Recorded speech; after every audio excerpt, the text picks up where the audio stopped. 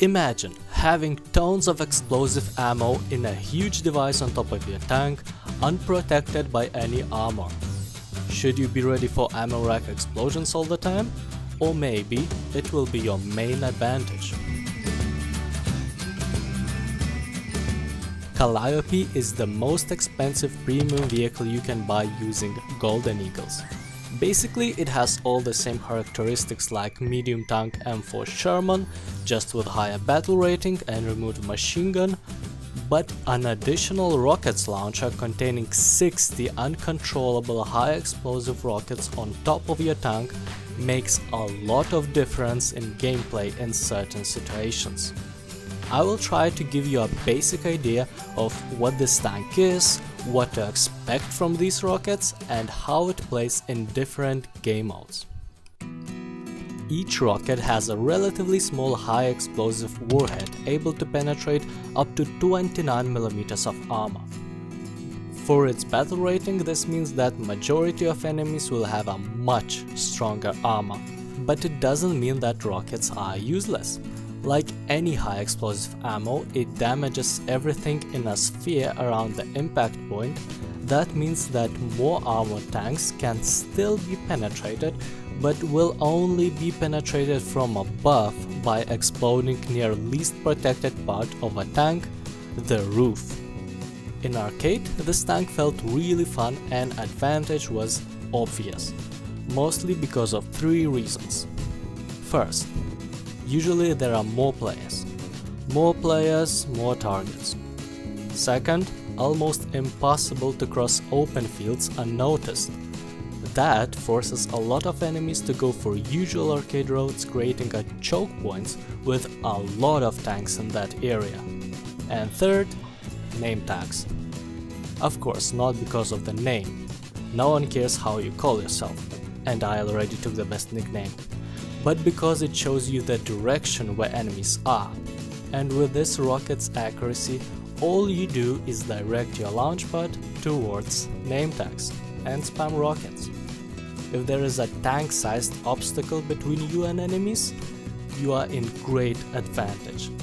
The only way your tank can be killed is rocket's ammo explosion, but that doesn't happen very often. Usually your launch pad just turns black but in arcade this broken module still can be used that makes you almost unstoppable. Don't be afraid to spam all your rockets. They reload one by one on capture point or if you have used all of them, all 60 will reload anywhere on the map in few minutes. The more often you can stay hidden behind obstacle, the better. It would be smart to clear the area with your rockets and show your turret only if you are out of rockets or enemies are unable to shoot back. Since rockets are very random and heavy tanks don't have a lot of weak spots, heavy armored enemies coming towards you might be a problem. Sometimes it will take a lot of rockets and most importantly, time to deal with them. In these situations, while your tank is still hidden over the hill, but enemy's advancement is inevitable, try to stop them first. It's much more reliable to damage tracks first and then finish it without rush using as much rockets as necessary. Because of the unpredictability of your rockets, the closer you get, the more accurate will be your shots. In realistic, most of your kills will be done the standard way, using your main gun, Rockets can just support you while reloading or repairing a main gun and in very rare situations will be the main source of damage. When you spot an enemy, it's much more reliable to hit it with your main gun than depend on randomness of your rockets that may or may not hit it, especially at range, as that shot will reveal your position. Calliope faces two difficulties in realistic staying unseen. First, very tall silhouette. Your rocket's launch pad makes it almost impossible to completely hide in bushes. Moving your turret will also move the rockets on top, making you easily detectable. Even when appearing from over hill, enemies will spot your rockets before your silhouette appears. and you won't be able to respond with accurate fire especially if they are far enough. Second, shooting a rocket creates a lot of smoke, attracting everyone's attention and making your position known. Spray your rockets until enemy dies and relocate, or prepare to meet enemy forces that will be attracted by all these fireworks.